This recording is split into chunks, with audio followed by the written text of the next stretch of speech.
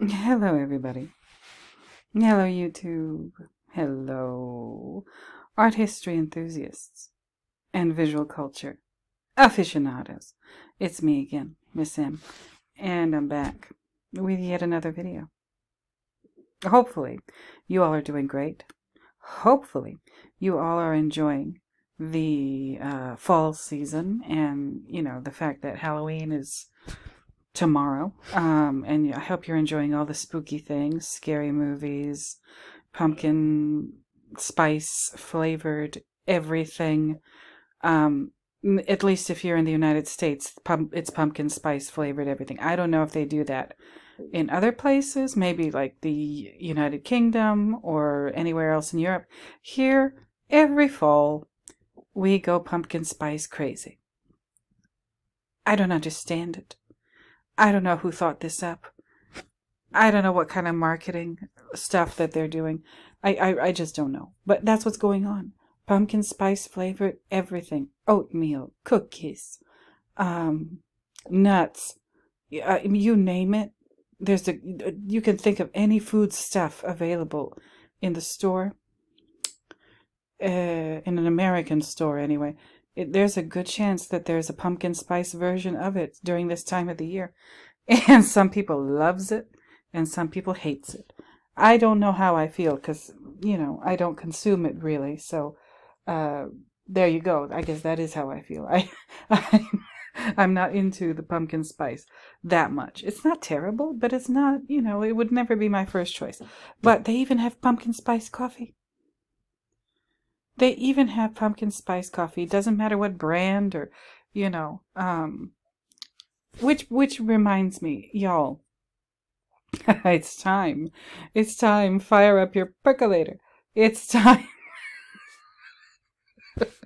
it's time to have a nice, cozy fall, y'all, cup of coffee. Um, because we're gonna do it. What are we going to do today?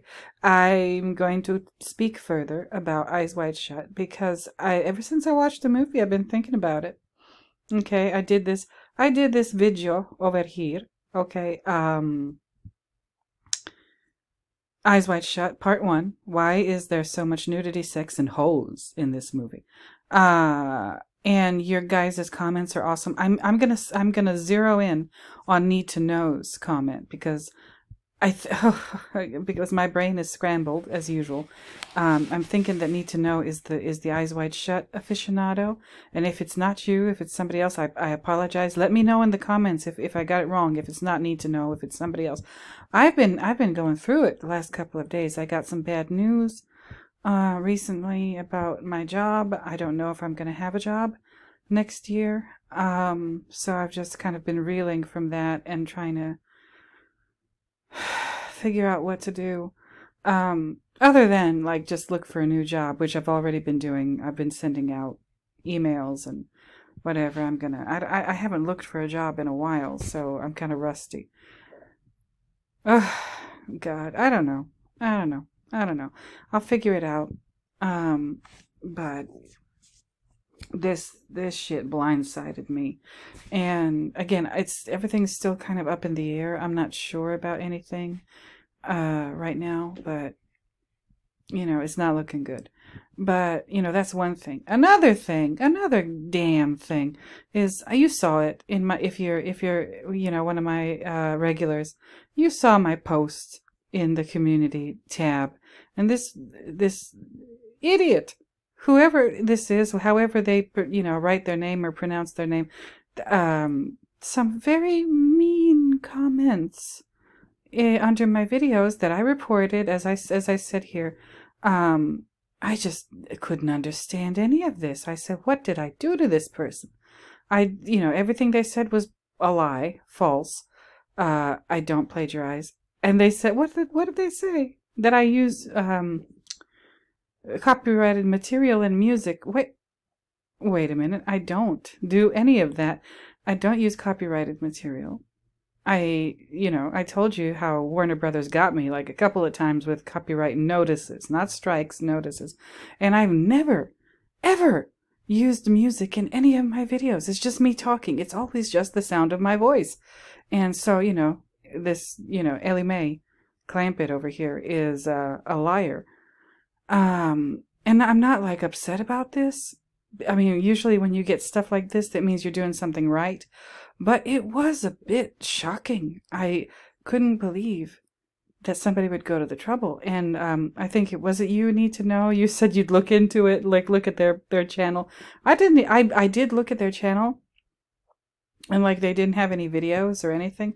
I I uh, yeah need to know. It's down here. I'll check it out. Right. Need to know. Um, what he's uh, need to know said. Well, she's gone, and I couldn't find her channel.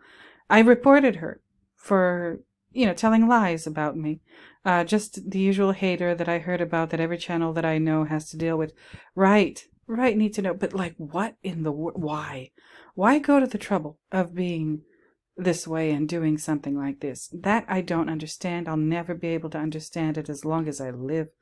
Um, but you know, I, like like I always say, it takes all kinds of people to make a world. And my latest video, it's it's bur- burly, burly three days old, Eyes Wide Shut Part 1.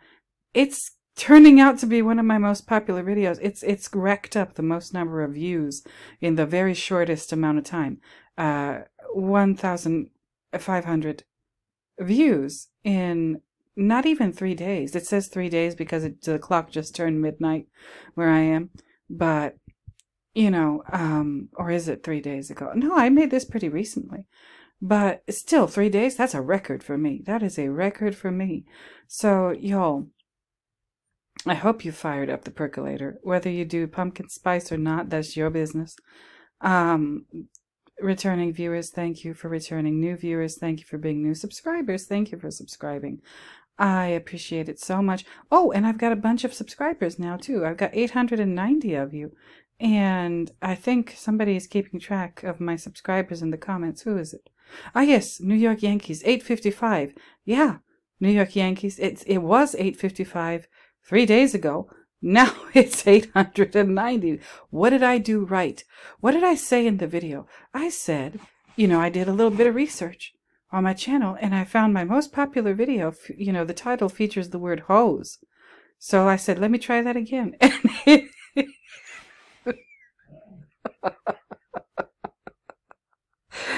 worked. and it worked. I'm going to try that again with this video. See if it works again. Shit, why not? You know, don't worry, I'm not peddling filth. I'm just trying to get monetized. That's it.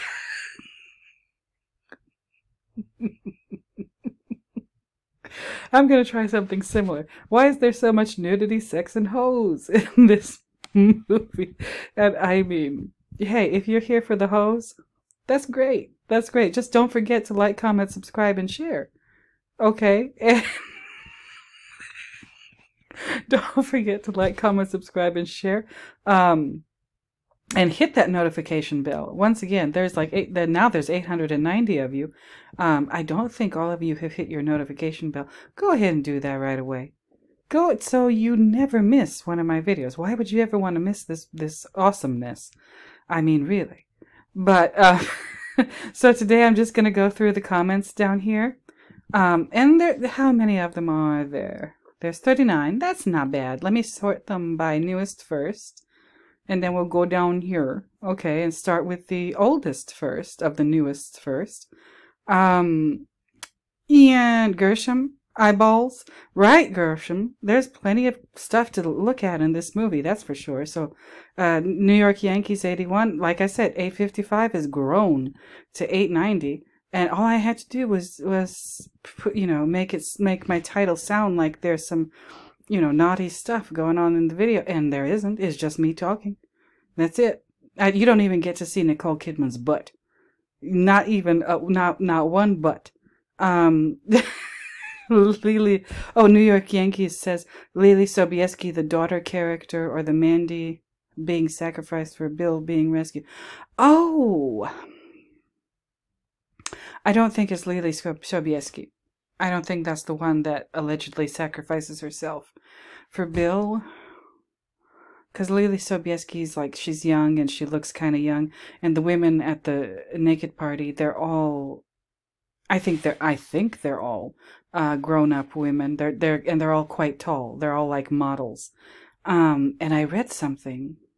recently that said when Stanley was casting for this movie, the Naked Ladies, he was looking for model types. He was, and I think the I, the quote is he was looking for Barbie doll type looking women, and they, like I said, they all look like they come from the same cookie cutter. All of the women that you see, including Nicole Kidman. Um, so yeah, I don't think it's Leelee Sobieski, but we're gonna have to talk about that character eventually. Uh, what what's his name? Milich's daughter. Um, and so thank you for the comment, New York, and thank you uh, for the comment, Gershom, as always. Denver Risley or Risley. Um, Denver, thank you so much. I don't know if you guys saw it. It was in my mentions. I, I got a mention thing. And um, Denver made a video responding to this video, uh, my part one of Eyes Wide Shut. And I was just so over the moon happy when I saw that. Thank you so much, Denver. Uh, it, it was a great video too. You guys go over there, go to Denver's channel and watch it. Okay, watch it and leave comments and the whole thing. Um, so thank you. Um, thank you, Denver. Teddy bears were invented in 1902, Denver writes, inspired by a hunting trip taken by Theodore Roosevelt wherein he refused to shoot a bear cub. Good for him. Um, so Napoleon could never have had one. Oh, okay. Um, well, geez. I'm gonna have to, like, not that I don't trust you, Denver, but I'm gonna have to look that up just for my own curiosity. Like, not necessarily teddy bears, because you're right, teddy bears didn't exist before 1902, because Teddy Roosevelt wasn't a person like before uh, he was born. And I don't think he was born in the early 19th century, or no, Napoleon was born in the 18th, the, the latter part of the 18th century. So they for sure didn't have teddy bears back then. So you're right about that. But I want to just um, research like bears or just stuffed animal toys and how long those have been around um, in general, and why possibly Stanley would have given, you know, little little four year old Napoleon a uh, little teddy bear. Um, but you're right, he couldn't have had a teddy bear. Uh, that's not really a deal breaker or anything, but do you think Stanley Kubrick would have missed that? No, I don't. I do not believe that Stanley Kubrick would have missed that. Um, even if he didn't know something, he probably would have been able to look it up and, and find out real quick. Um, so what if he knew, what if he knew it or not? He put it there for a reason. Maybe the anachronism was intentional. The apple isn't missing. They were in the big apple. That's right. New York City. That's what they call it. The big apple. Very, very good um, observations, uh, Denver. I don't think the title refers to snakes so much as it means everything is right in front of you, but you're not seeing it. Okay. All right. Um, you, you have a point. I don't know if I agree with that 100%. I, I, because of the Garden of Eden thing, I think that somewhere in there are some snakes. I just have to either look for them in the movie or or I could be right about my eyes wide shut is about the snakes not having eyelids. Um, but rather the brille that I talked about. Um, but again, you, you bring up a good point either way. Either way, that's a good point. You, you continue. The serpent is there. Oh, geez, I just put something else together and I'll shut up. Helen is Napoleon's death. Yeah, the, the island of St. Helena. The teddy bear is Napoleon. Hmm the consequence for telling Inanna, uh huh, yeah, you got to watch his video. Go to go to his uh, channel. It's right here, Denver Risley. Uh, under my comments, go click on this and go to his channel and watch his latest video. Um, he mentions Inanna, and it's very good. And he he cites a Japanese film that you know. Now that I know about it, Denver, I want to watch it. Um, the teddy bear is Napoleon and the consequence for te- okay. Um you know what else i learned? I, I i looked a little closer at napoleon's biography on wikipedia. Not only did he die on the island of st helena which if you look it up it's in the middle of nowhere. It's a it's a wasteland kind of island. Um it looks like he might have had, or it's it's you know just taken as a fact, I guess, that he had an illegitimate child, illegitimate daughter, named. It, it in French it's pronounced Hélène, um, but it's spelled H E L E N E. So, but it's so Hélène, Hélène, but in French it would be pronounced Hélène. They don't pronounce the H in French. Um, is Helen does is Helena in the movie? Is she even Bill's real daughter? Is he or you know was was what uh, what's her name Alice? Was she messing around on him? I don't know. I don't know. What'd you think? What'd you think? Tell me what you think about that. Um, so here comes tankard Hello, tankard Hello, Richard. Uh, he, LOL, you beat me to this. So my question, Miss m and anyone who has a thought, who was Napoleon supposed to be? I don't know. I mean, Denver is this is compelling. The teddy bear is Napoleon thing. That might be it. But at, at, at this point, I need to watch that movie one more time and just think about it for a little while more. Is it Bill? I don't know. Bill, he's, he's, um, maybe, maybe it's him. Maybe it's somebody that we're not even thinking about yet. I don't know. Like who? Out of the male characters? You know, the teddy bear is Napoleon. Maybe. Bill might be Napoleon. Possibly. Um. I mean, it, it, can it be Ziegler? Could it? I, I don't know. I'm I'm open to any possibility right now at this point in my study of this film. I don't know. Who could Napoleon be in the movie? Um, I do believe that somebody represents Napoleon. I do believe that somebody represents Napoleon. Is it the teddy bear? Is it Tom Cruise, this character? Um, is it his friend, Nick Nightingale? I don't know. I don't know. I don't know. I have to I have to think about this one. Uh, Denver replies to Tancred. I think it's Bill. He has the same situation of being a hick who cannot attain membership into the aristocracy even after becoming emperor. That's the thing about Bill. He's he, he seems like this kind of bumbling character. Even though he's a very, very famous doctor, apparently, because his clientele is all extremely wealthy people who belong to like this club that uh, is is very exclusive as far as like high society. Uh, he makes house calls like that's what he even says in the movie. Like this is, you know, wh- why uh, I think Alice says like, why do why do we get invited to this party, uh, Ziegler's um, Christmas party? And and Bill says to her, well, this is because I make house calls, you know. Um, so I don't know. I don't know. Something something strange is going on but awesome comments, all both of you guys, everybody so far, awesome comments. Thank you. Um, I'm having trouble pronouncing your your your screen name. Uh, Giergi Malayu, uh, two nine three nine. I hope I didn't do too badly. um, the this commenter asks, I would love to know who are the two masked in the balcony. Is it Milich and his daughter, or is it Ziegler and his wife? It's haunting me. Thanks.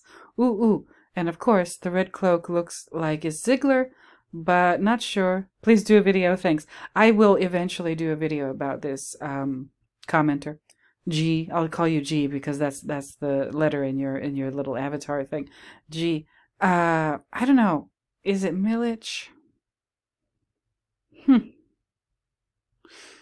Hmm. I don't think it's Milich or his daughter. Might be Ziegler. Um, it's somebody that we've seen in the movie. It's somebody that we know in the movie. We know their name. We've spoken to the character. It's not Nick Nightingale. He's down there playing his music. A Milich? I don't think so. Probably Ziegler, but It could be somebody else. It could be Carl. You know, for all we know. You know Carl. the the fiance of the woman whose father died, and and um, Bill went to the apartment, another very beautiful apartment, um, and she kissed him and whatever. Um, you know, we, we, that that the, those people.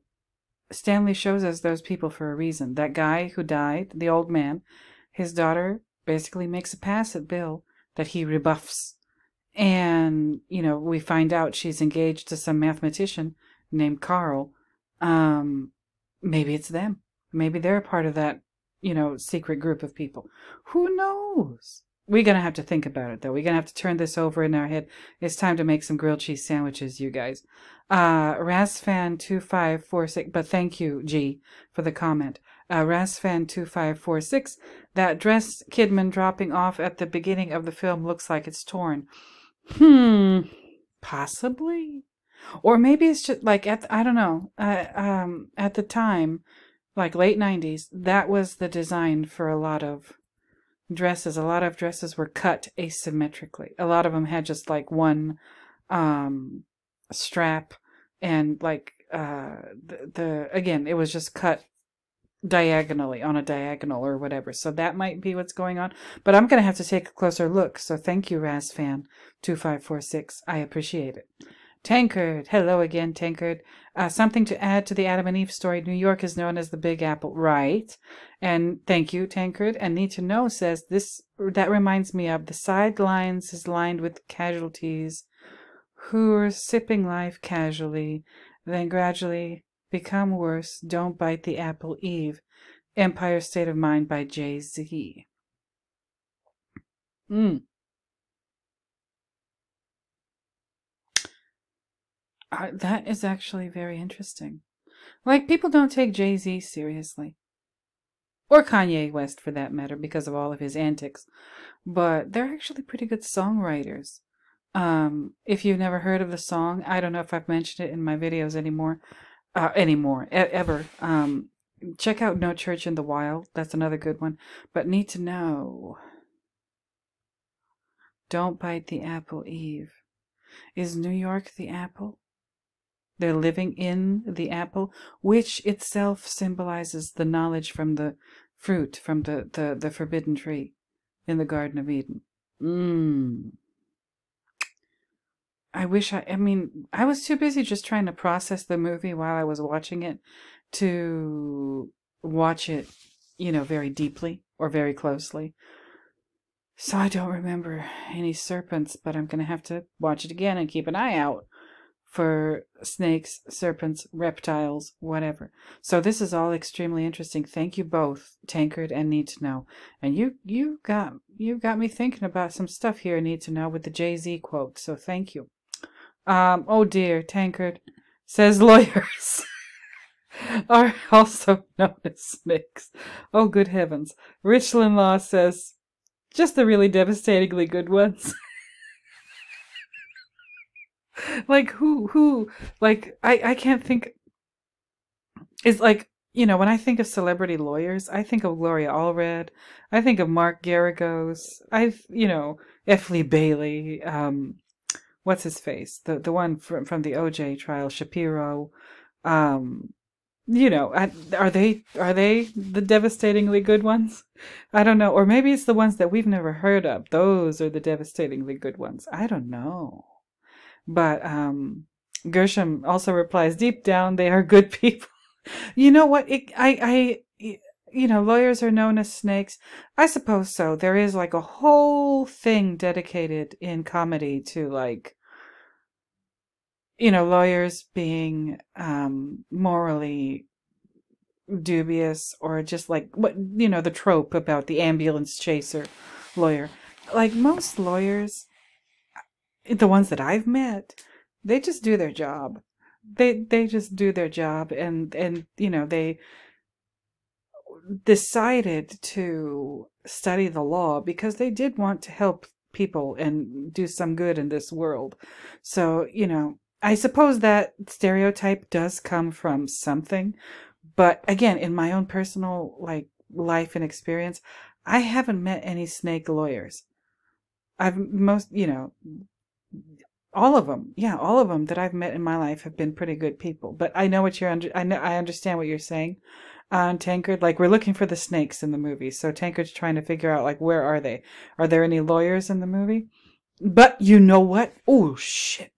Thank you, Tankard and Richland Law and Gershom. You just made me think of something. Um, we're looking for the snakes, right? Well, Bill Harford in the movie, he's not a lawyer. He's the other profession that is the one that, you know, if you, if you do that for a living, that means you made it.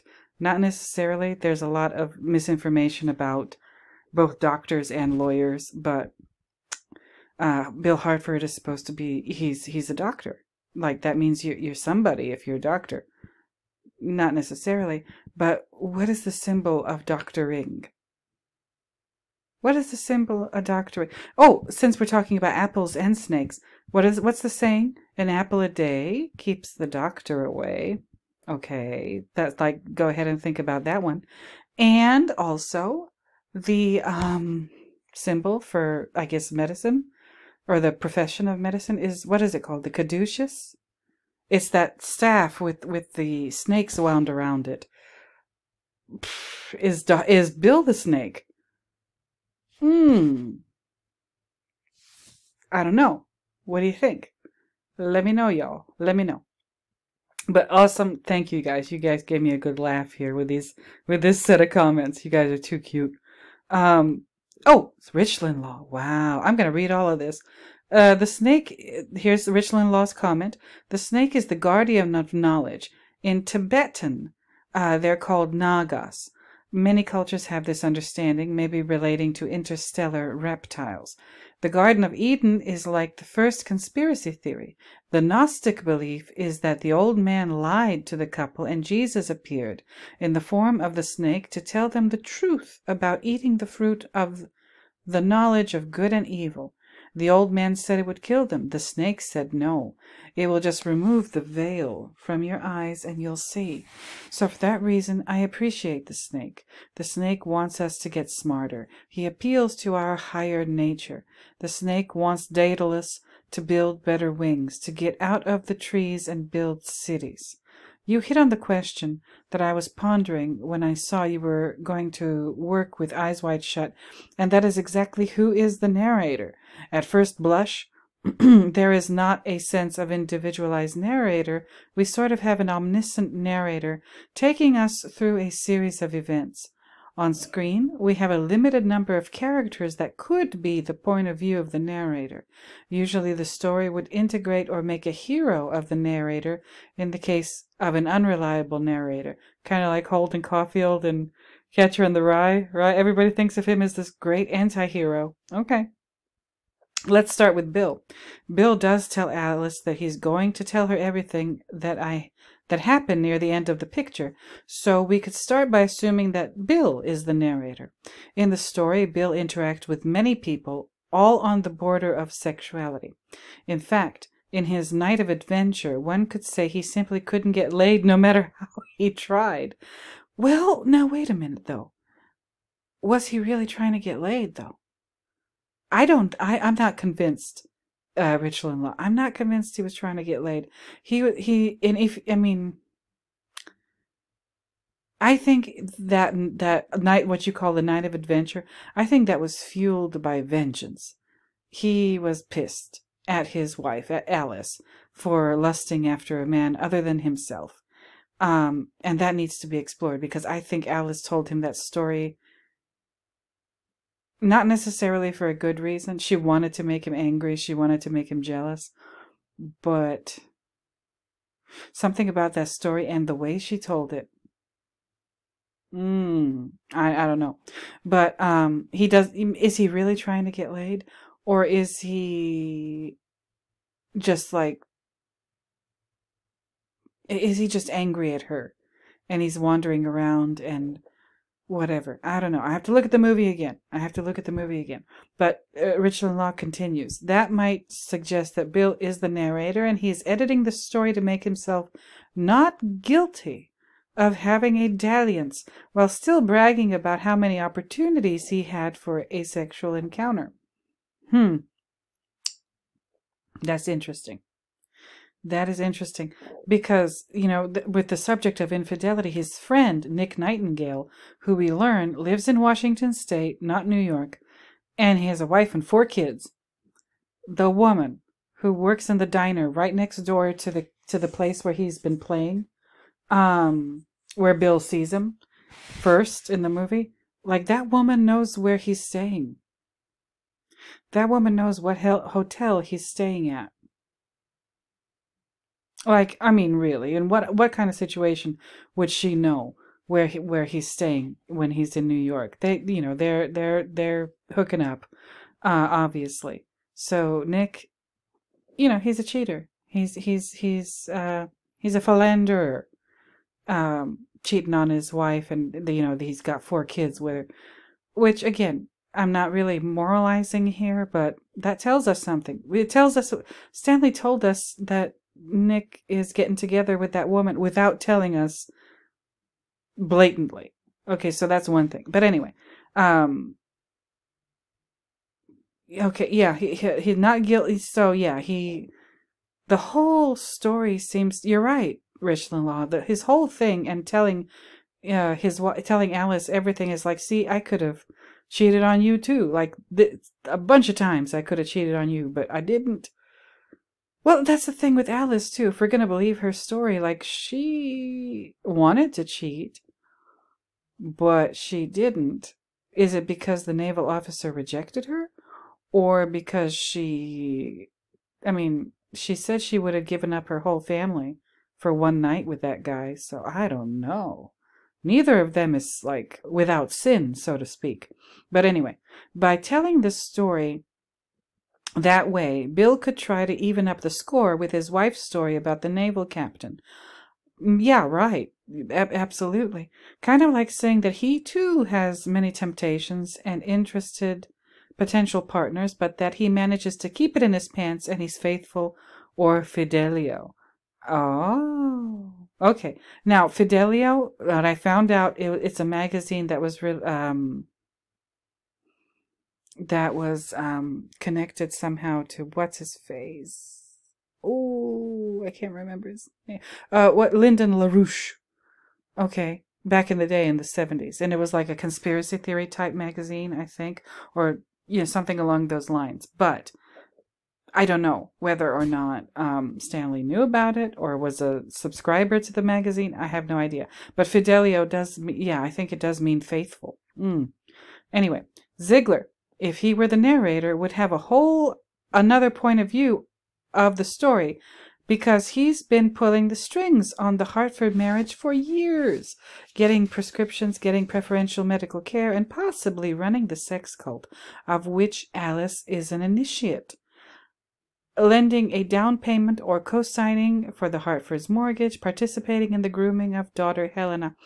This is interesting. Z- Ziegler, he, he seems to have like this, what he thinks, what Bill thinks is like a friendship relationship with Ziegler.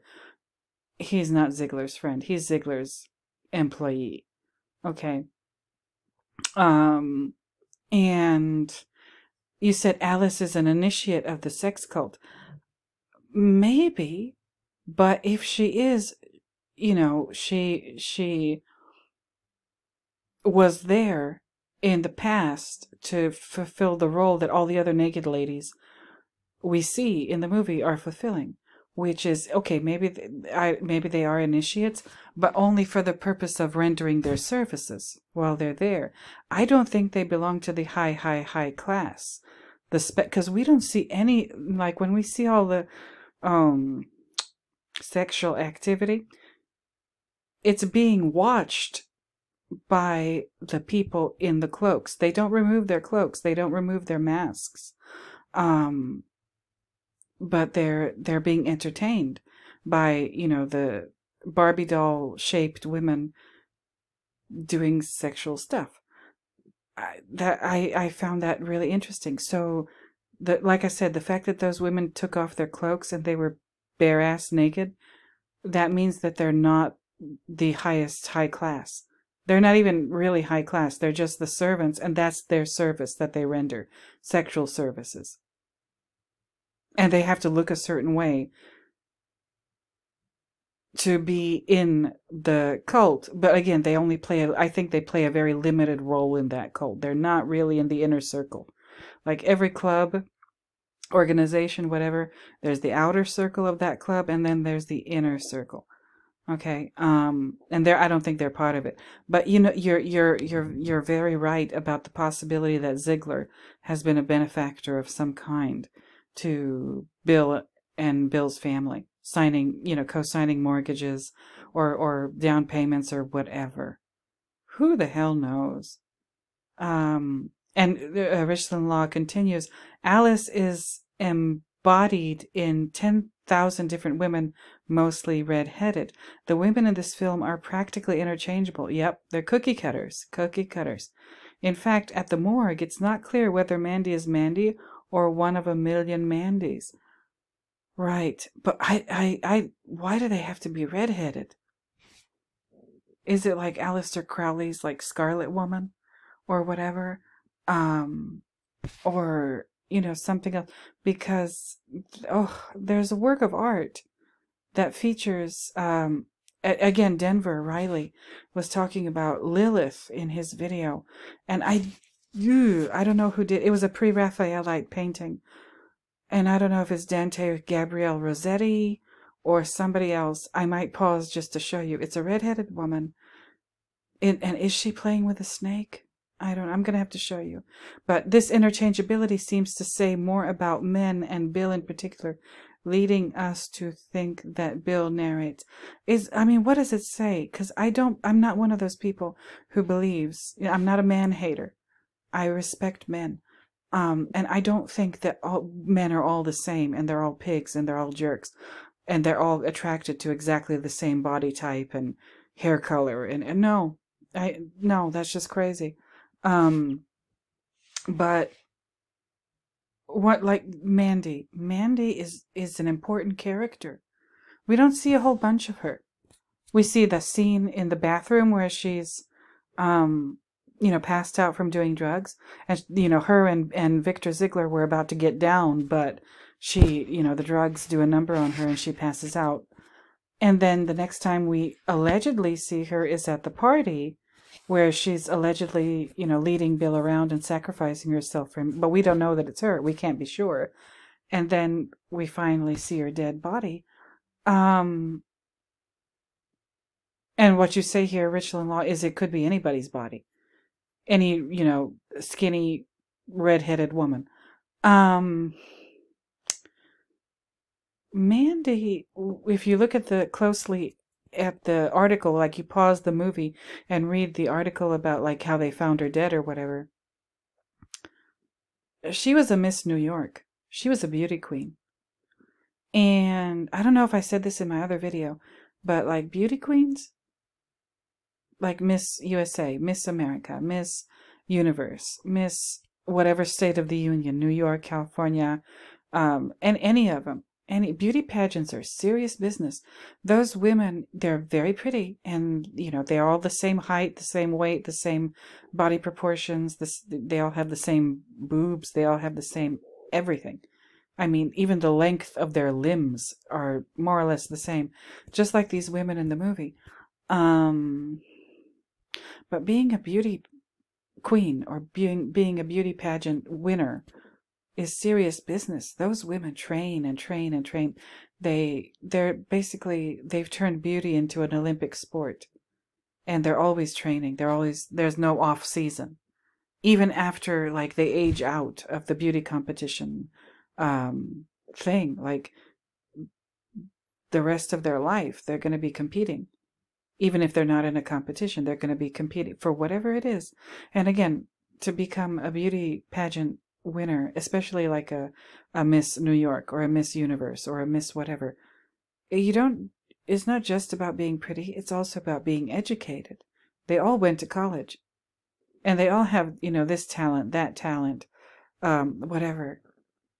And Mandy, after doing whatever. And and the thing about beauty pageant winners is that they're not just beautiful, they're not just intelligent, they're also extremely ambitious. you don't get that far as a beauty contest winner. Like Miss New, Miss New York, you don't get that far without being extremely ambitious. That means she was, but that's what her ambition led her to, being Victor Ziegler's like side piece. And he doesn't even call her his girlfriend. He says, you know, forget about Mandy. She was just a hooker.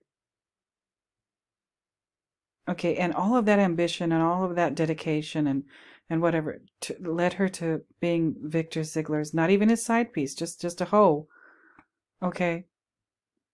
And it led her to doing something like a speedball. That's the kind of drugs that she does. And he she was doing it right in front of him. You can see the spoon and everything on the table um, next to her in, in the in the bathroom. On on the table next to the couch where she's passed out in the bathroom and he's aware of her doing those kind of drugs. And he didn't stop her. He didn't care whether or not she was conscious.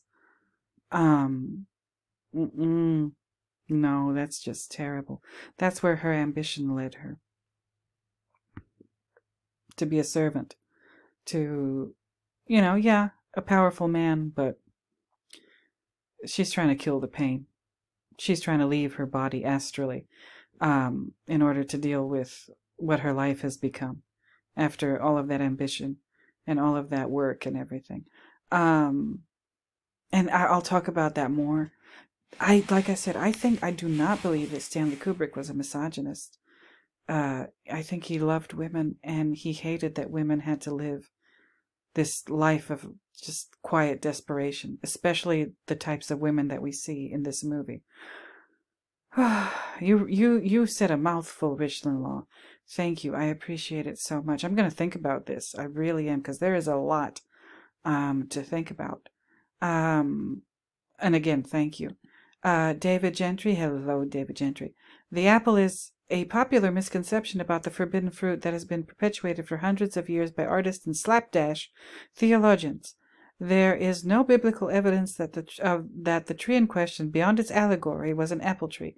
There is more evidence that it was a fig tree, but even that is up for speculation. But I don't think Stanley was splitting hairs with popular, popular culture versus biblical scholarship, and had the drama take place in the Big Apple simply to communicate his message, rather than to correct popular misconceptions about what the forbidden fruit was in terms of the literal tree it was i think it's interesting that alice is getting unmasked at the very beginning of the film by getting naked yes that is very interesting mm-hmm. uh, revealing that she wasn't even wearing underwear to a party where supposedly she didn't know anyone oh do you mean okay there's there's the butt scene in the in the very beginning and then there's the scene after that when like bill's looking for his wallet and she tells him where it is and she's in the bathroom sitting on the can peeing.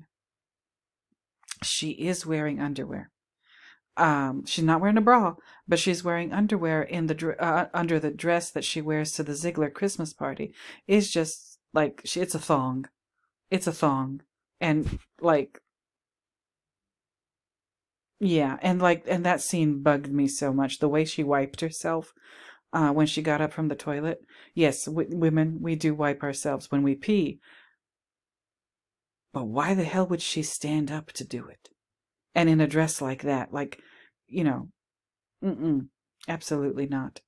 Um, I'm just, I'm just saying, like, you know, for practical things, and uh, um, no, absolutely not. Like, what is wrong with Alice? Uh, just terrible. Um, but anyway, uh, the wacky tobacco unmasks her later Ooh, in the bedroom scene when they argue. And I think she is unmasked one last time with her final declaration at the end of the movie. Contrast that to her husband, Dollar Bill, who has to start donning masks throughout the movie in an effort to understand his wife, his own sexuality, and the entire world he inhabits. As I've mentioned before, I've watched Eyes Wide Shut dozens and dozens of times since it was first released. Is it you, Dave? Are you the aficionado? And it just keeps getting deeper and deeper every time I watch it. And yes, Inanna is a subliminal character that runs through the film, especially in the stars used as Christmas decoration. Yeah, those are those are stars of Inanna. Absolutely. Good video, Miss Sam. Thank you, Dave. Um, glad you finally decided to watch this film, and the connections you're making between uh, Eyes Wide Shut and Napoleon are really fascinating. Take care. Thank you so much, Dave. I appreciate it so much. Also, with the biblical story of Adam and Eve, one of the, oh, oh, uh, one of the popular themes of theologians throughout the century is to tarnish Eve and by proxy all women. Yes, yes, you're absolutely right. We're supposed to blame Eve for everything. We're supposed to blame Eve for the pain of childbirth, uh, cramps, PMS, you name it, um, because she tore down a universe by following the serpent. However, Eve was not the head in the garden. Adam was the federal head of the human race at that point, and Adam let this whole thing happen. The Bible says he was with Eve when this whole thing was going down with the serpent. Adam let it happen. To ignore this is the biblical in the biblical text is in my humble opinion extremely misogynist. I know. I know uh, Adam was more responsible for what happened because he was in charge, right? The fish starts to stink from the head on downward. Isn't that what they say? Uh, the Bible tells us that Eve was deceived, but that Adam was not. This is why it was important for Jesus to be born of a woman, but not a man in Christian doctrine, because the or the original sin nature is passed down genetically by the man, not the woman. Yes, women carry the original sin baggage just like men do, but women do not pass it on to the next generation like men do. I didn't know that. I did not know that. Hence, the virgin birth of Jesus is very important to Christian theology. 99.99% of Christians do not understand this, so it is seldom reported anymore. But if you study the Bible, it's still all there. Wow. That is fascinating. I, I, I've never heard of that, so you just educated me. Um, that is really, really fascinating. That is real. That, oh, see, it's it's taught a completely different way. You know, we're we're supposed to blame Eve for everything. Um, that is interesting. And you made a comment up here about getting um, the wacky tobacco. So, okay, you guys, I don't know if you're ready for this, but I told you about um, Mandy and her speedball, which is what Ziegler said in the movie a combination of heroin and coke, and it's injected. Okay, so that's some pretty serious drugs. Uh, Alice keeps her wacky tobacco in the bathroom in the medicine cabinet. Hello. And she keeps it in, they don't sell them anymore, which is so sad. But they used to be like aluminum tins for the bandages. Um, and she keeps her weed in, you know, the little pouch of the weed itself and the rolling papers and whatever in a little empty tin of bandages. And that is her band aid. That is supposed to be what, like, helps the, soothe her wounds, uh, figuratively rather than literally, and she keeps it in a in an empty tin of um, Johnson and Johnson bandages. Now, this is how you do symbolism in movies, okay? Johnson and Johnson. Why did Stanley pick Johnson and Johnson? He could have picked any other brand of bandages. He could have picked uh, any other product. It didn't have to be an empty bandage tin. It could have been an, an empty um, box of, I don't know, Q-tips or, you know, any other empty container with a lid or whatever. Um, no, but he chose Johnson and Johnson. Y'all, this movie is supposed to be about sex. Allegedly. I don't believe it really is, but that's what that's the surface narrative. Um sex, cheating on your spouse, all that kind of thing. And the place where she keeps her where Alice keeps her weed is an empty tin of Johnson and Johnson. Hello. I th are you getting it? Are you getting it? Two Johnsons. Okay. That's all I'm going to say. Let me let me just drop that right now. Um, maybe that's what I need to put in the title. You two Johnsons and one Alice. I I I don't know. I just don't know. Um, I hope you guys are enjoying the coffee. Um, I hope Need to Know is enjoying. Did you say you got a brick of Bustelo? I'm gonna have to try that stuff. I've never had Bustelo. Is it good? Let me know. Um, but thank you so much, Dave. That that was a great comment. Richland Law, Paths to Glory, The Shining, Eyes Wide Shut definitely explore the relationship between the elite and those who would, who would aspire to join them. Okay, Paths of Glory, The Shining, Eyes Wide Shut. I gotta watch Paths of Glory. I fi- I finally got around to watching Eyes Wide Shut. I watched Lolita. I watched The Shining. Oh, maybe Paths to Glory should be my next one. Hmm. And Paths to Glory is the one that features, you know, at the time, the future Mrs. Kubrick. So I gotta take I gotta take a look at that one. Thank you again, Richland Law. Uh, Stephen. Hello, Stephen. Uh, on a psychological level, physical as well, uh, sex has a lot to do with one person having power over another. Possibly. Uh, power is an important theme in this movie, and it also shows how power and sex influence each other. What's the significance of Alice's red hair? Kidman is usually a blonde. Ah, uh, maybe, possibly, but maybe that color is subconsciously associated with youth and innocence. Hmm. Uh, I beg to differ. Stephen. Um, I think it's, in my opinion, you know, just because I'm such an art history nerd, um, look at the Northern Renaissance uh, depictions of the Virgin Mary. If I'm not mistaken, a lot of them have red hair. Frizzy red hair. Uh, just like Nicole Kidman's character in this movie. Look up the Annunciation. Uh, look up yeah, look up Annunciation uh, and and Northern Renaissance, and you'll find the Northern Renaissance masters like oh uh, Jan van Eyck and uh, Melchior. Is it Melchior Broederlam? Or I, I would have to look them up myself to be sure of the names of the artists. But these these these um, Virgin Marys, almost exclusively redheaded. I don't know why, but they are. Um, but you know, you might have a point as well. Uh, what's the significance of the red hair? It is significant because we see it repeated throughout the movie, not just with Alice, but with her daughter Helena, who I'm questioning whether or not is really Bill's daughter at this point. Um, because, like I said, Napoleon had an illegitimate daughter, uh, Ellen. Um, but he did die on Saint Helena. But whatever. So, so Alice, Helena, Mandy any other redheads? I don't know, but I'll have to look. Those three female characters have red hair. And I don't know if any other ones, but red hair is very significant. Why? It seems to be, you know, because the Northern Europeans during the Northern Renaissance time period, so many depictions of the Virgin Mary is with red hair. That means that they thought it meant something good.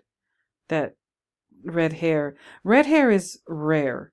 That's we do know that red redheaded people, you know, um, unless you come from a family of redheads, like you don't see them too often. And I don't mean people who dye their hair. I mean natural redheads, uh, red hair, pale skin, either blue or green eyes. That's supposed to be like one of the rarest combinations on planet Earth as far as eye color, hair color, whatever. So, what is it about red hair? What is it about red hair?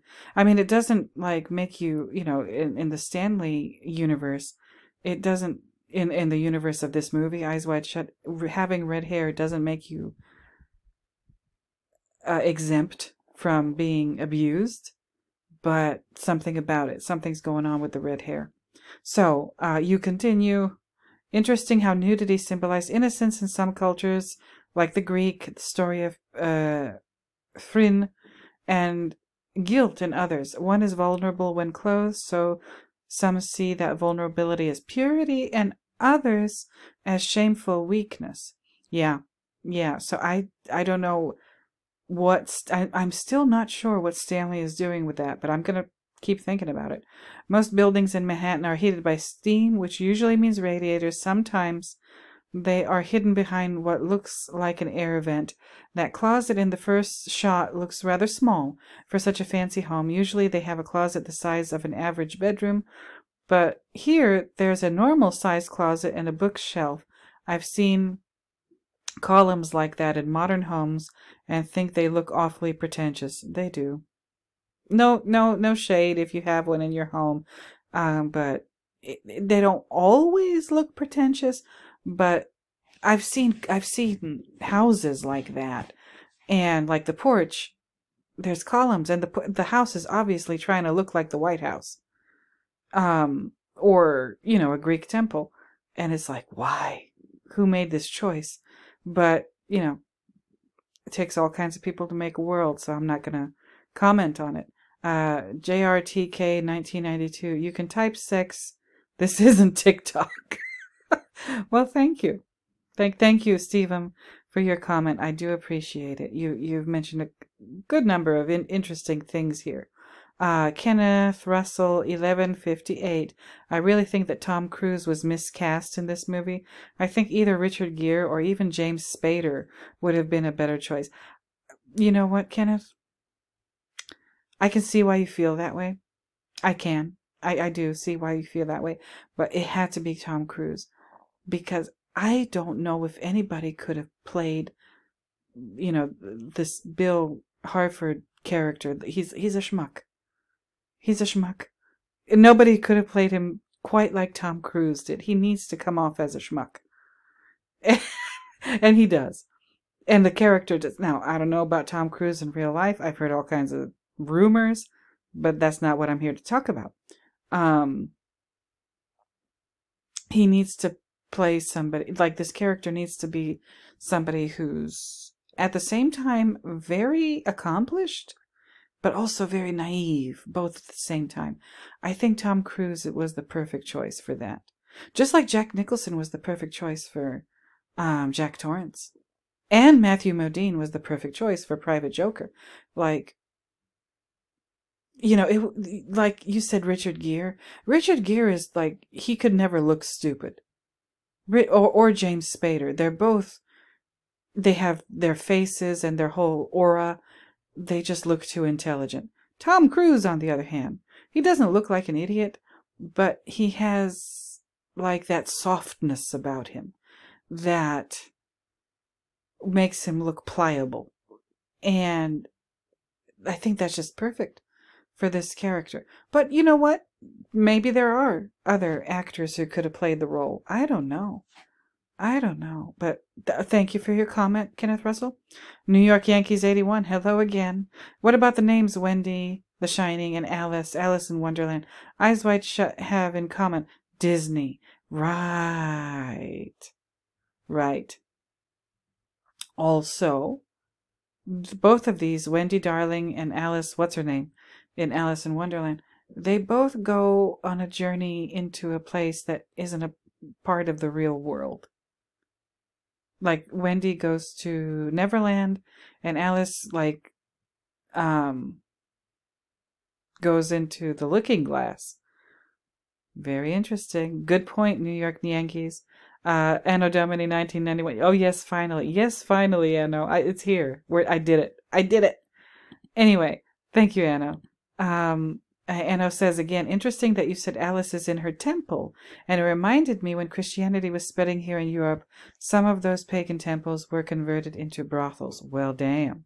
Um, and I reply, yeah, very good observation. And there's also the issue of ritual prostitution in ancient religions. I am I am fully convinced that Stanley was aware of this. All, what Anno said and what I said down here, there's no doubt in my mind that Stanley knew about this. Uh, Anno also says, uh, all the nudity and sex in the movie, uh, that is not exciting in any way, reminds me of Pasolini's Salo, because it's about people having power over others and abusing that power through sex. Anno Domini told me about this movie, Pasolini's Salo. I still have not watched it. I don't think I can. I watched one clip of it and I say, yeah, no, this is not for me. I can't do this. Um, but I I did read about the movie and I'm pretty sure again, thank you, Anno, for bringing this up. I'm pretty sure that Stanley knew about it too. Uh, need to know re- replies to Anno.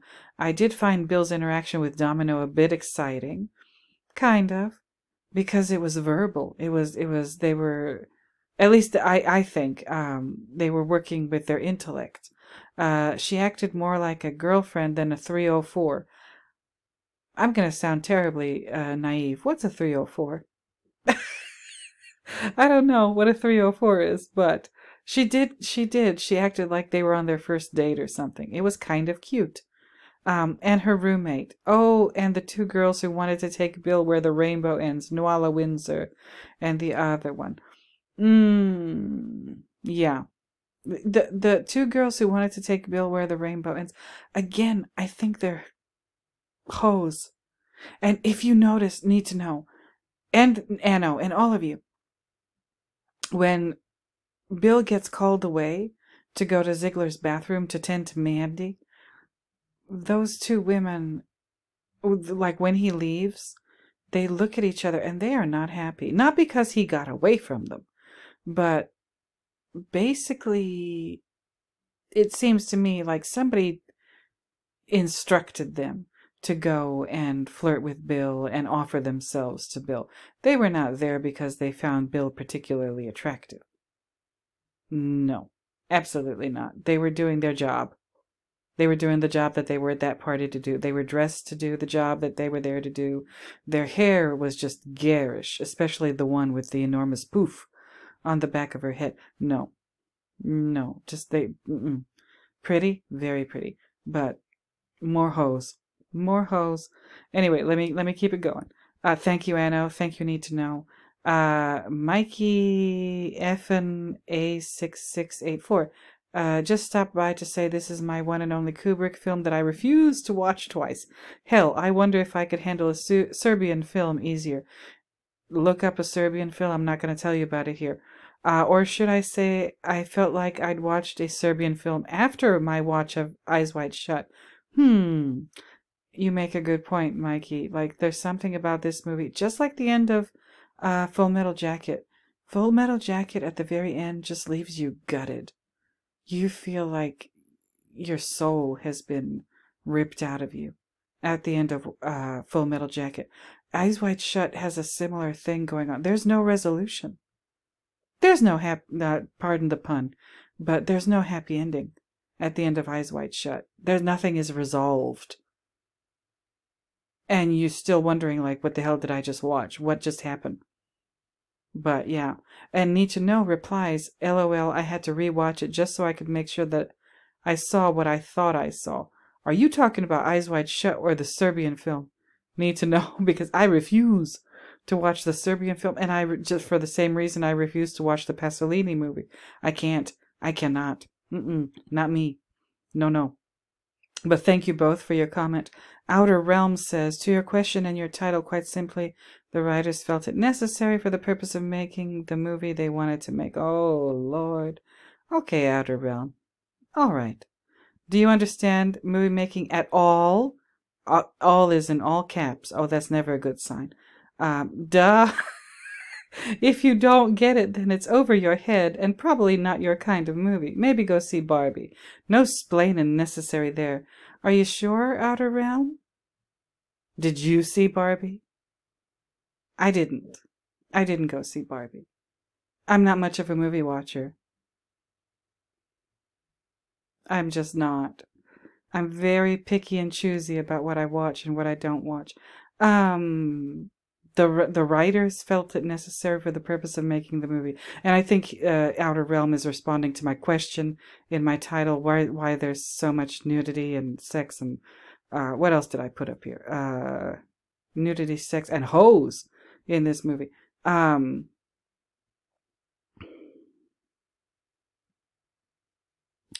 I I just don't know what to say to this. I just don't know what to say to this. Like, mm, Mm mm mm mm mm. Mm. Mm mm mm. Mm mm mm. Uh, outer realm, outer realm. It's over my head. Maybe it is over my head. Maybe it is over my head. But, you know, maybe Barbie is over your head too. Maybe you should take another look at it. You might learn something. Might hopefully nobody will have to explain anything to you. Um, but need to know replies to Outer Realm. Yeah, you put it quite simply. Uh, perhaps too simplistic. Maybe watch the video before commenting next time. The title question is the theme of the discussion, not a public query. Right? Thank you, need to know. Um, like, like, oh, how do I respond to these things? And, and, and, you know, the screamer from earlier today. Lord. Um, X Rusted says, thank you. Thank you, Outer Realm. I still do appreciate the comment. You took the time to do it, so thank you. And need to know thank you very much for your reply to that comment. Uh, X Rusted says the biggest reason why ladies don't wear underwear with classy dresses like this, they don't want visible underwear lines. Yeah, I know. I still don't understand. Like, mm, uh, visible bra lines and panty lines are seen as tacky and embarrassing, so they just don't. Yeah, I know. I know. I never understood it, but I do know about that. And yes, the secondary reason is for easy access. and he puts a little wink thing here. And they feel sexy when they know they have the allure of the curve seen under the dress. Possibly. I know. I understand. I, I, I mean, you know, I'm female. I know about women's clothing and undergarments and, and whatever. And oh, Lord. Uh, you, the, the, men, just thank your lucky stars that you're men and that you are not because because you're men you're not required to wear the things or um, suffer the things that women suffer with their clothes and their undergarments. It used to be even worse. 30, 40, 50 years ago, women were more or less required to wear corsets and um, garter belts and, and stuff like that. we have progressed, but now now we don't have the corsets. Now we're expected to uh, corset ourselves. Like the corsets are invisible. They're still there, but they're invisible. They're called diet and exercise. All right. And Ozempic and whatever else that, you know, diet pills, whatever else that women are, are expected to consume or do in order to fit a certain aesthetic. That's another video for another time. And that, but I will mention that in the course of talking about Eyes Wide Shut. I sure will. But I, I appreciate the comment, X Rested. I, I always get a kick out of, out of you guys and your comments. So thank you. Thank you. Thank you. Thank you. Um, another comment, Bob Birkins. 6058. Weird. Helena is also the name of the Emperor of Rome, Constantine. Right. Um, Bob, I think, uh, what you meant to say is that that Helena was uh, Constantine's mother's name. She's the one that converted him to Christianity. Uh, that was yeah, you're right. Which is interesting. You bring up a good point by bringing up Constantine's mother. Um, is that the Helena that we're supposed to be focused on? Is the island of Saint Helena named after uh, Constantine's mother? Did Constantine's mother uh, become a saint after her death?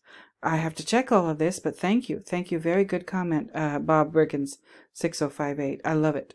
Um, now here we go. I'm going to have to take a coffee break before I get into this one, but this is part of the reason I made this video in the first place. Need to know, wants to know, he needs to know. I, I, is, if you're not a he, I, I apologize, but, um, need to know, needs to know these questions here in, in, in their comments. So I'm going to address these after my own little coffee break. I'll be right back. Don't go nowhere. Hello. Hello. I'm back. Um, I had my little coffee.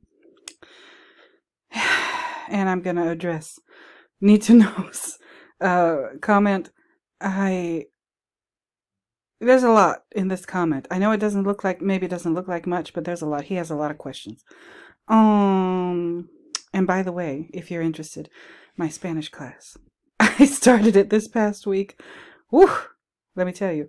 I think so far I'm getting an A, but took my first exam last night. That might change. My A might change to a C very quickly. Who knows? But I have learned a little bit. Um, right now it is, let's see, what time is it right now? Es una hora y media de la madrugada. Need uh, anybody, any of you who speak Spanish? Did I do that okay? let's hope for the best. But now let's get down to it. Need to know needs to know um, some stuff. So some ideas you ask? Yes, I asked for ideas in the video. Okay, there are a few things I want to know more about. Whether, unlike The Shining, the source material should be considered in this one, Traumnovelle. Ah, probably. Probably, but something is telling me that Stanley is deviating from the source material in Eyes Wide Shut very much the same way that he did in both The Shining and Full Metal Jacket. Um, from what I can gather, Traum, um, deals with some really pretentious people. And looks like in Eyes Wide Shut, we're dealing with some really pretentious people too. And I'm not talking about the masked people at the naked party. I'm talking about Bill and Alice. They think they're really quite something, but are they? Um, so I don't know. I don't know the answer to this first question, but I would think that just like just like Stephen King's book, The Shining, and how much, how drastically Stanley deviated from that, he probably did the same thing with with Traumnovelle. I'm gonna have to take a look at that. Of course, I'm eventually gonna have to look it up. So, thank you, thank you for bringing it into my mind. Uh, need to know. Uh, why is it that every time right before Bill might get down to business, if you know what I mean, he gets interrupted and called away? I got that one from another analysis of the movie, Rob Ager, I think. Uh, at this point, this is my initial opinion. It might change in the future, but I think he gets interrupted and called away every time because maybe, possibly, it's not real. It might be a dream sequence, a very extended dream sequence. It might be. That's one possibility. What the stuff that we see happening, including the naked party, maybe never really happened.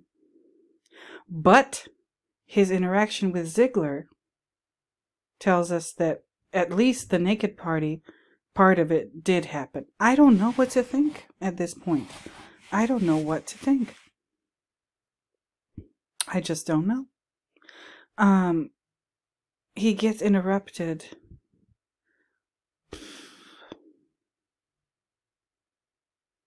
I, I have no idea what Rob Ager has to say about the subject, but something about actually going through with it is is very very suspicious. Actually going through with it and like getting down with somebody like domino or or um you know the dead guy's daughter that that throws herself at him or the two hoochies at, at the Christmas party, or, you know, any of it.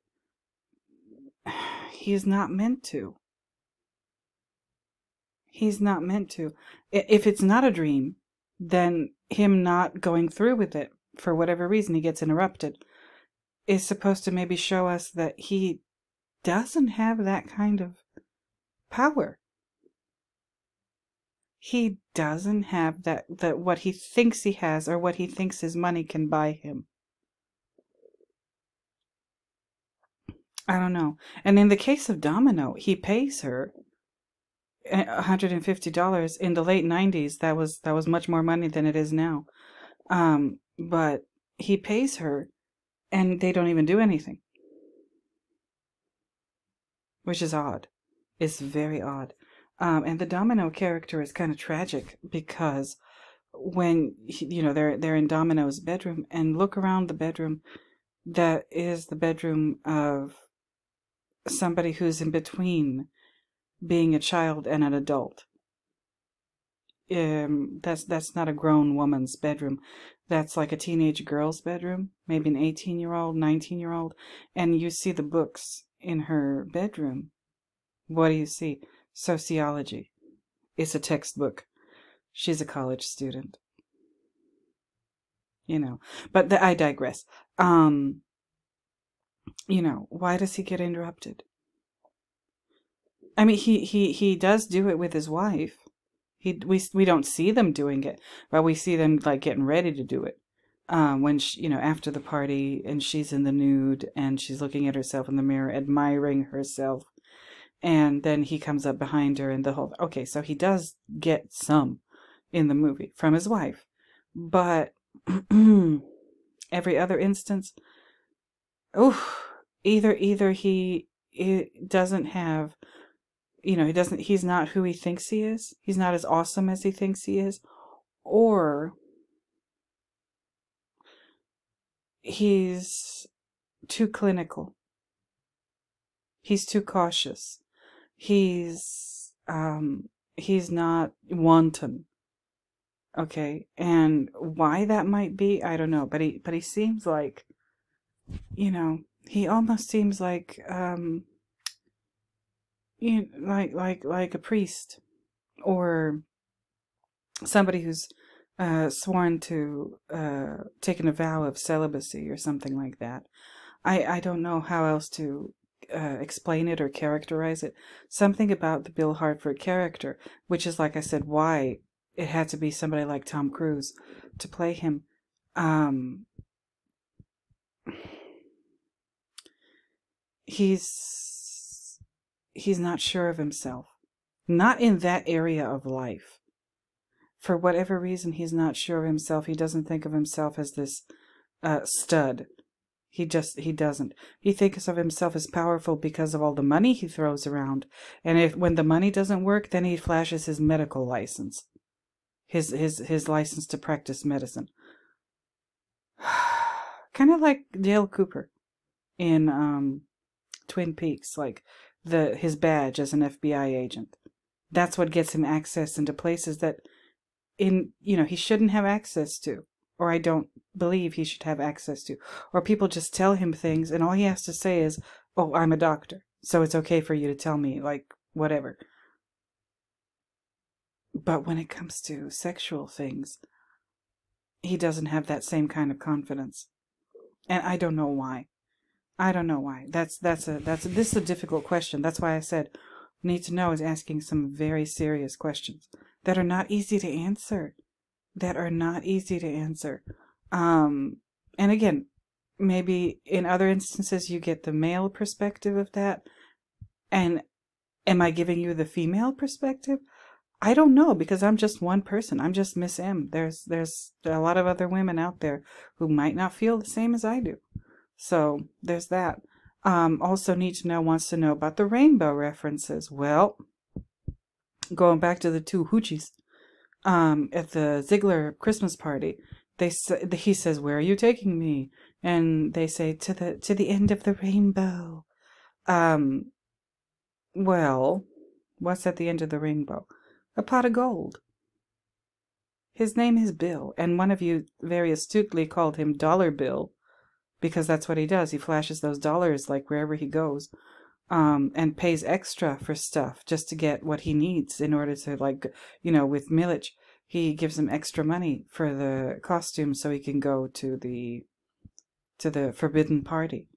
Okay, so the gold at the end of the rainbow, it's that's the that's that's the um incentive, that's the motivation for everything the gold at the end of the rainbow, which is money.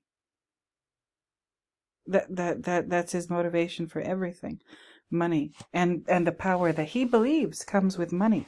But we're being shown in in a sense that no power doesn't come from money. No, not necessarily.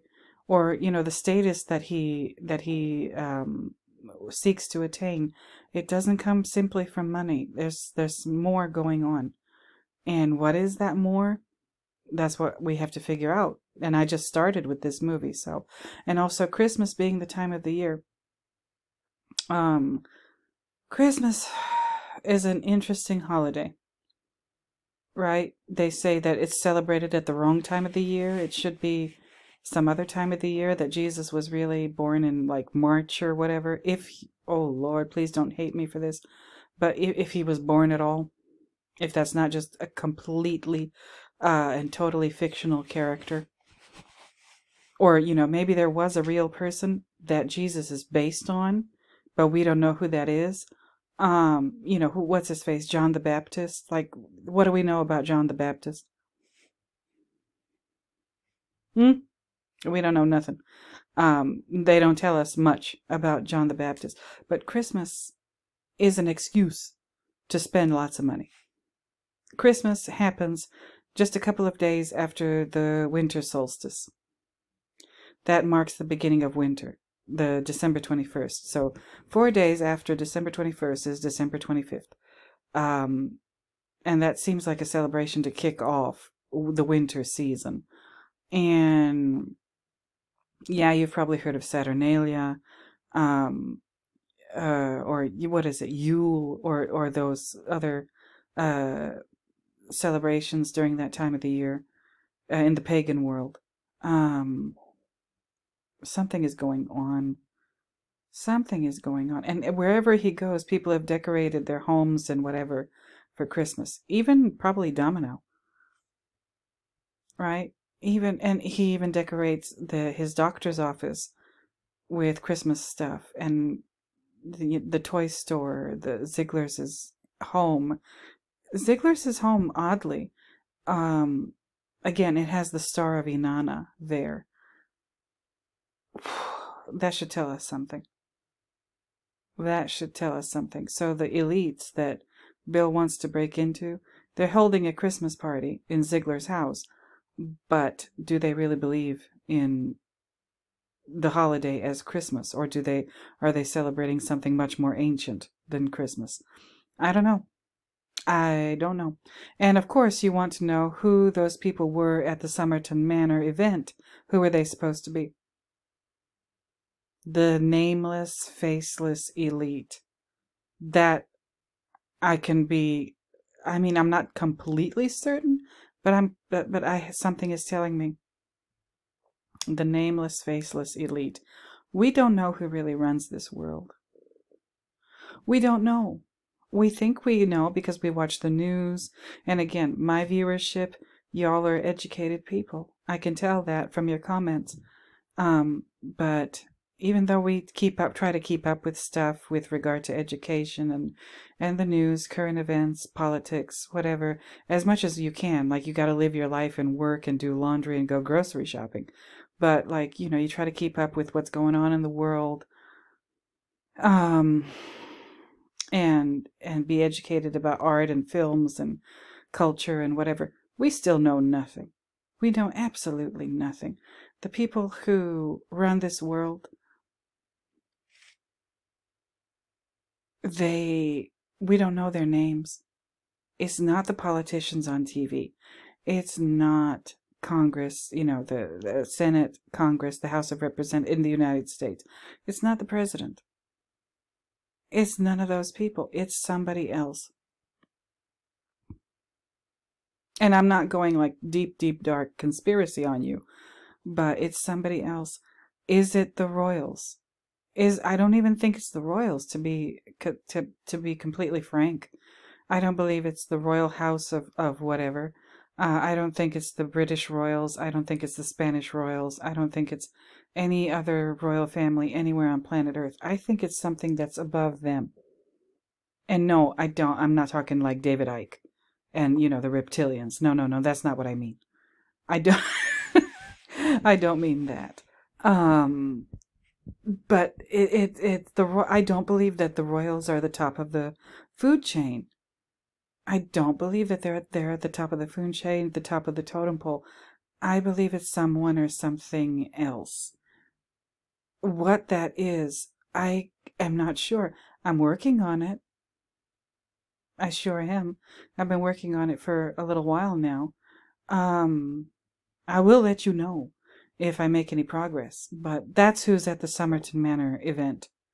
And he's te- Ziegler tells Bill, if you knew who those people were at the party, uh, you wouldn't be able to sleep at night.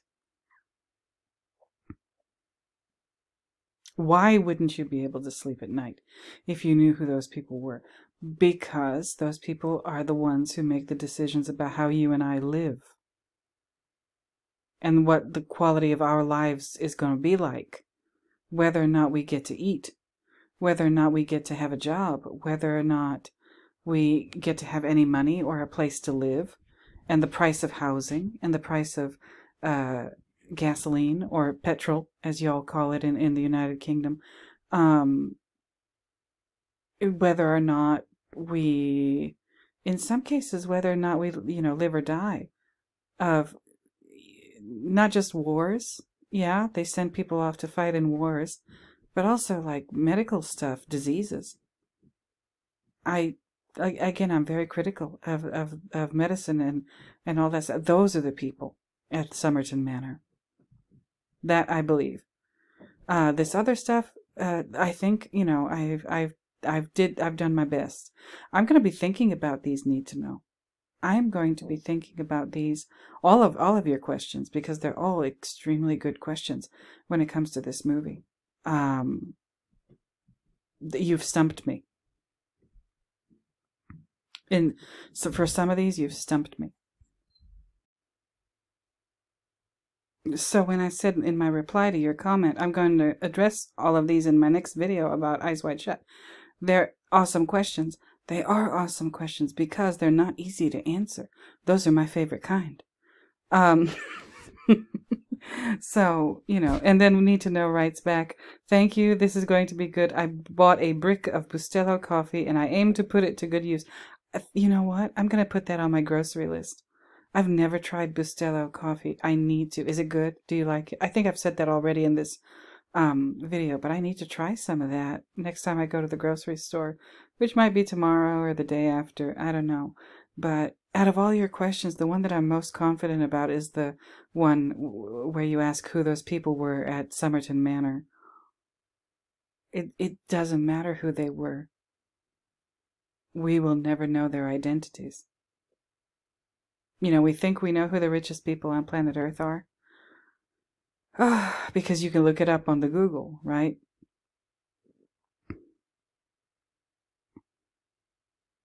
I think I, I, I read somewhere in, in a book one time, a sociologist wrote, and uh, again, this was years ago, and I can't remember the author or the title of the book, but it was a book about sociology. And the person wrote what the richest rich people on planet Earth and the poorest poor people on planet Earth have in common is that they're completely anonymous. We don't know who they are. They're invisible to us. You know, those uh, those of us who are working class, uh, that's me, um, middle class, whatever, you know, um, these hierarchies in our lives are designed to keep us in check. Um, but the hierarchy that we don't see you know we don't we can't even understand it because it's i guess it's not for us to understand. And there's something wrong with that. Again i'm trying to solve that problem or answer that question in every video that i make on this channel. That's why i'm hyper focused on stanley kubrick because i think he was trying to do that too. He was trying to figure out the origin or the source of that kind of power. Why does it exist period. And in this movie, he's trying to trying to um, that's his ultimate question in Eyes Wide Shut, which you know I'll just focus on that movie because we're talking about that movie of, of Stanley Kubrick's Eyes Wide Shut. He wants to know. He maybe doesn't even necessarily want to know who those people are. He wants to know why they're there. He wants to know why they're there. And with regard to Bill, when he you know after he has his his argument with alice and she tells him about the naval officer and everything he gets called away uh, from her. And he goes to the apartment of the of the wealthy man who died. And then after that he goes on his adventure. Um, and it's an adventure that's fueled by anger not lust anger. He's very angry at Alice because she put him in his place. She put him in his place. She reminded him, first of all, she reminded him what his place was and to for him to stay in it.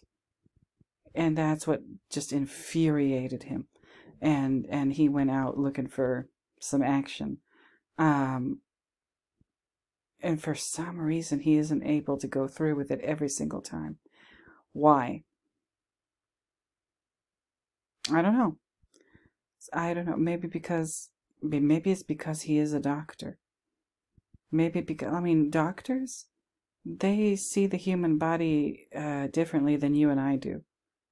They see it as a specimen. That's why.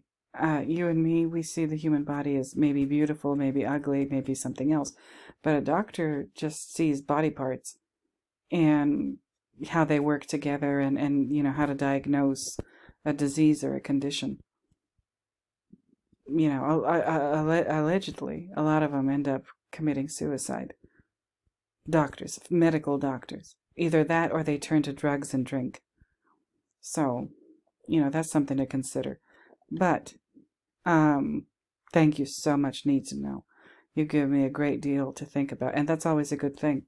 Uh, Greg Gibson 33 says, FYI, you spelled hose wrong, unless you're describing a garden gardening tool. Oh, I love the spell checkers. I love them. Need to know says, nope, that's how it's spelled. See? Thank you, need to know. I checked. I checked. Of course I did. Um, but thank you. Well, you know, thank you, uh, Greg Gibson, for looking out for me. And thank you, need to know. I appreciate it so much. Uh, Jacob Hope, 6164, says, because it's an allegory of Hollywood. Possibly possibly that what we're looking at in this movie might very well be an allegory of Hollywood. Um, hmm. But we have to build on that, though. It's an allegory of Hollywood, but how? And and another interesting thing that you just made me think of, Jacob uh, Hope, is that he cast a husband and wife to play the roles of husband and wife in this movie, just like he cast somebody named Jack to play Jack in the Shining and somebody named Danny to play Danny in The Shining. He also, yeah, in this movie, it's about a husband and wife, and they cast a real life couple. Interesting. Uh, thank you, Jacob Hope. Uh, Richland Law says in Straw Dogs, Sam Peckinpah accused of eliciting performance with abuse of Susan George. And there's a link here, 21 minutes forward. Okay, I'm going to have to look at that. Uh, are infinite multiple takes a form of abuse? Ask Shelley and Nicole. Uh, there are examples of insulting, slapping, spitting, threatening, lying, running from running the camera after take uh, throughout all the best films. Some say anything is permissible to get the performance or to get the shot. Remember, movies are the best entertainment. Ooh, wow. Hmm, Richland Law. I think I know what you're driving at. I think I know what you mean. Um, thank you. I I think I know exactly what you mean. Oof. Is he fighting fire with fire? Is that what you're saying, Richland Law? Or should I just leave it, you know, up in the air and, and not try to like uh say any def- anything definitive about what you what your comment. It's it, what he. I don't know if you guys are picking up what Richland Law is putting down, but there's a lot going on in this comment, just like many of his comments. Uh, think about it. Think about it. think about it. Something he's he's trying to say something that is not easy to say. So thank you, Richland Law. I always appreciate it. And last but not least, uh, Torgo, 1969. Napoleon is known as the standard bearer of the ideal of meritocracy, or for that or for that we honor him and want to learn more about him. The elements of meritocracy in the US are the reason that so many of us can get uh, can get what and be where we deserve in this life. Oh, Torgo. Torgo, 1969. Um. Ooh. I, I don't know what to say to this comment. I would like to ask you a question, if I may. Uh, do you live in the United States? Because, you know, I'm not, I, I, this is no shade. I, I promise you this is no shade. You're right. Napoleon is the standard bearer of meritocracy. He absolutely is. Um, but the fact, uh, the the the the fact that you, what you put here, the, uh, the elements of meritocracy in the U.S. are the reason that so many of us can get what and be where we deserve in this life. I don't know if I agree with that. Uh, the U.S. is a caste system uh, like all the other ones. There is a class system, a caste system in the US, just like in the in the UK, just like in India, just like everywhere else on planet Earth. And the thing about the US is that we're just better at pretending it doesn't exist.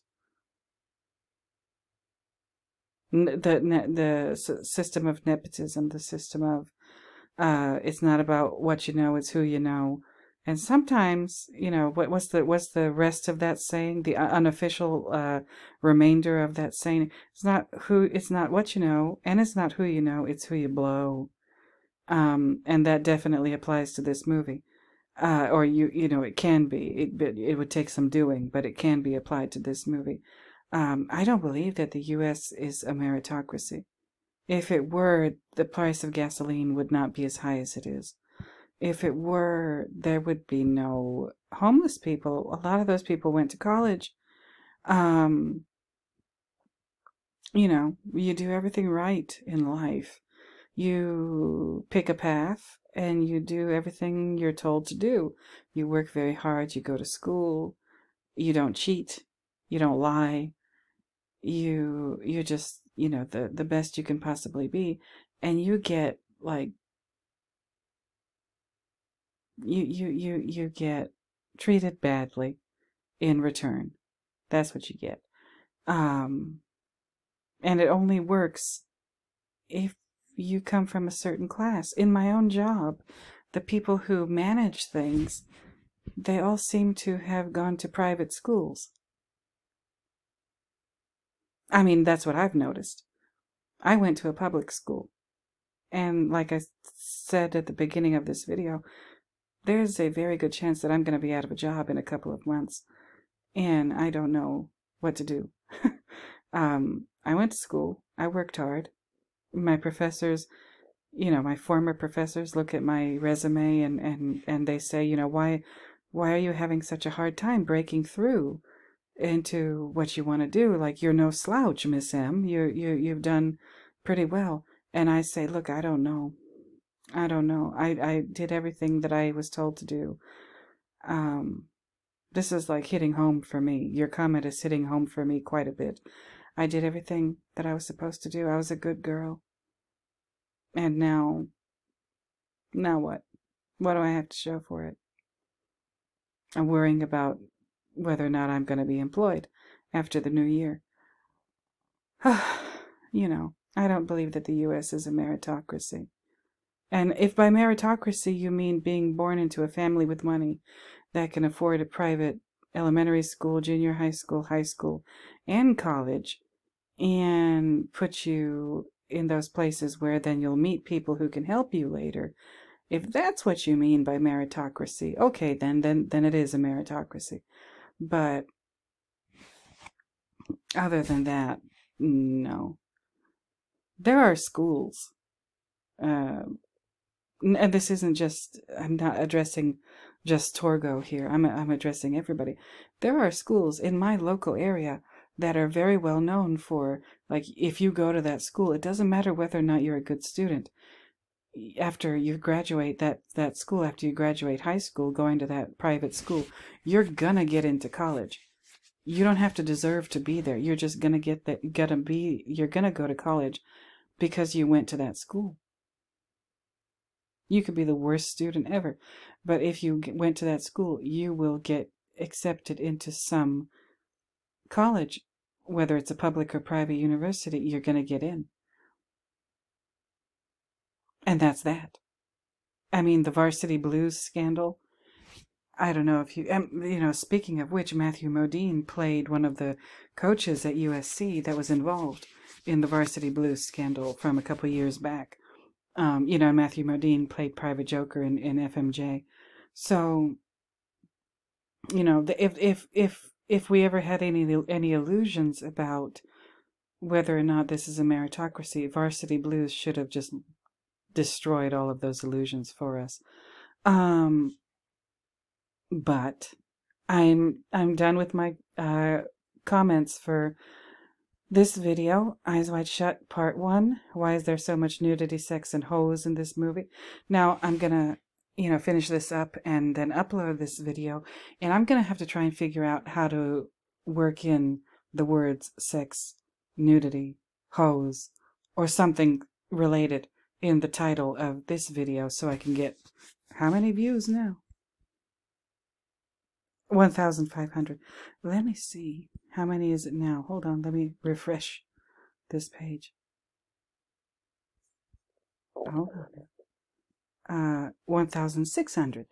Since I started this video, it went from 1,500 to 1,600. What did y'all do? I, is it me or is it you? I don't know. Um, so let me know. what, what did you do? But, um, that that I think that's all I have to say for this video, and I have to work on a title. I'm gonna reuse the Nicole Kidman thumbnail. This is my this is the part two. Uh, it's a viewer mail, but it's part two. I'm gonna do all the Eyes Wide Shut videos in in a series, whether it's a viewer mail, whether it's a coffee break, whether it's an actual analysis um, of the movie or or various parts of it. It's all gonna be part one, part two, and so on and so forth. That's I have decided. So that's that, you all. Thank you for being here. Thank you for your comments. I appreciate them immensely. And that's that. So I'm going to reiterate my church announcements. I hope you enjoyed the coffee. And yes, I'm going to get um, a brick of Bustelo coffee. Need to know. And I'll let you know how I like it. It's going to, I mean, it can't be that bad. It's coffee. So, uh, I hope you enjoyed uh, the coffee. I hope you enjoyed the video. Returning viewers, thank you for returning. New viewers, thank you for being new. Subscribers, thank you for subscribing. And all of you, no matter why you're here, please don't forget to like, comment, subscribe, and share the video if you know somebody who might enjoy it. And please don't forget to hit the notification bell so that you can be notified every time I make one of these. Um, so that's it. That's that, and that's all. And I don't know what I'm going to do next time. Hopefully, Full Metal Jacket we shall see. But until next time, until the next time when I find yet another reason to talk at you in one of these videos, I'm going to go ahead and bid you a bye-bye. So, bye-bye, everybody.